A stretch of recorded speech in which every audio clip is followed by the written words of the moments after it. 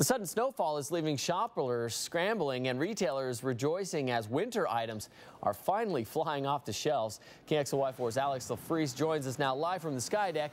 Alex, it sounds like people are ringing in the new year with new gear. That's right, Aaron. All this snow may be wreaking havoc on motorists, but for local retailers, it means more money in their pocket.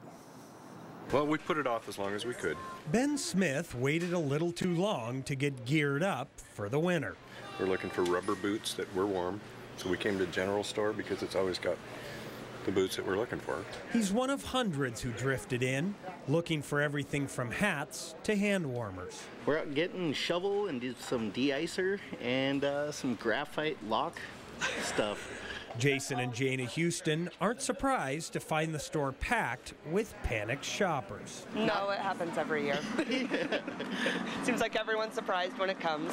But it did come, and not a minute too late. This year was extremely slow for all winter clothing, winter shoes, snow shovels, ice melt. Uh, there was just no winter, so we weren't selling anything for quite a while, and today's a little different. John Evans with the general store says they may run out of in-demand items. With the snow coming today, it's just been flying off the shelves. Can't, uh, can't help everybody. Boots, hats, gloves, everything. Even a few sleds. I'm probably going to go down one of our neighbors' driveways, and her name is Margaret, so I'm probably going to go down her driveway. It's nice to know at least one person was prepared. And there's um, a big block of ice as big as that snow pile then I'm just going to plow out away and then I'm going to jump that ice.